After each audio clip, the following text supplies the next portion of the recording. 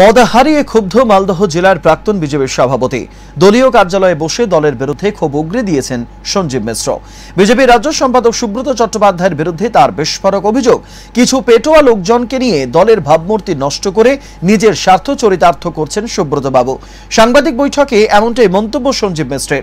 লোকসভা ভোটের প্রার্থীপদ নিয়ে ক্ষোভ প্রকাশ করার পর থেকেই মনোমালিন্য শুরু হয় এই দুজনের মধ্যে। সঞ্জীব বাবুর অভিযোগ, জেলা থেকে কাটমানি তোলার ক্ষেত্রে সুব্রত বাবুকে বাধা দেওয়ায় ষড়যন্ত্র করে তাকে সরিয়ে দেওয়া হয়েছে। দলের কাছে এমন সিদ্ধান্তের প্রতিবাদের পাশাপাশি প্রয়োজনে আদালতের দ্বারস্থ হতেও তিনি পিছু পা হবেন না বলে জানিয়েছেন।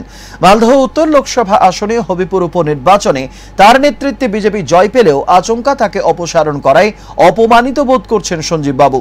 তবে এই বিষয়ে কোনো মন্তব্য করতে চাননি নবনিযুক্ত সভাপতি গোবিন্দচন্দ্র মণ্ডল। যে আমাদের রাজ্যের সংগঠন মহামন্ত্রী যেখানে সংগঠন জেনারেল সেক্রেটারি অর্গানাইজেশন বলা হয়, মাননীয় সুব্রত চ্যাটার্জি, তিনি একটা অদ্ভুত রাজত্ব তৈরি করেছেন পশ্চিমবঙ্গে। কতগুলো পেটুয়া ছেলে পেলেকে কলকাতাতে জোগাড় করেছে, যাদের কোনো যোগ্যতা নাই। অযোগ্য কতগুলো লোককে পদে বসিয়ে তাদের মাধ্যমে পার্টিটাকে কবজা করে রেখেছে। কোনো সামনে আসেনি। ঘরের মধ্যে ঘর, ঘরের মধ্যে ঘর। এই চলছে এবং এটা চলছে সম্পূর্ণভাবে রাজ্য নেতৃত্বের প্রশ্রয়ে। রাজ্য নেতৃত্ব এই প্রত্যেকটা জেলাতে আজকে গুটবন্দি তৈরি করেছে। কোনো জেলা সভাপতিকে শান্তিপূর্ণভাবে এরা কাজ করতে দিচ্ছে না এবং লড়াই লাগিয়ে নিয়ে এক পক্ষকে কখনো হাতে রাখছে, কখনো অপর পক্ষকে শাসন করছে। এই নীতি নিয়ে রাজ্য নেতৃত্ব চলছে। আমি মনে করি এটা প্রতিবাদ হওয়া দরকার। পারিনি।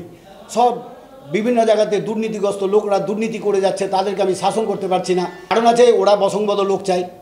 জিহুজুর জিহুজুর করবে। ওদের কাছে দশবার যাবে গিয়ে পায়ে তেল মাখিয়ে আসবে। সেরকম লোক পছন্দ করে আমি সেটা করতে পারছিলাম না। আমি ব্যক্তিত্ব নিয়ে চলছিলাম।